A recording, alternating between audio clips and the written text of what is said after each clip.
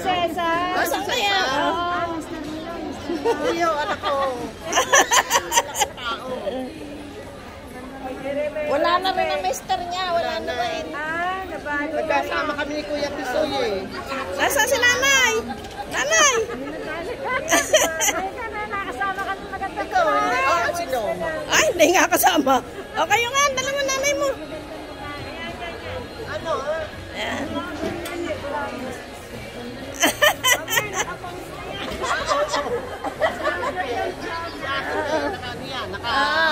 Ah, story sige. na iyan.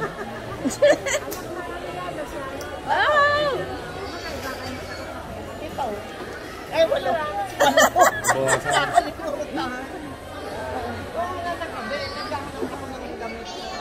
Ay, si nanay, sapatos. Oo. Maghahanap na sapatos. Oo. Ah, sige, sige.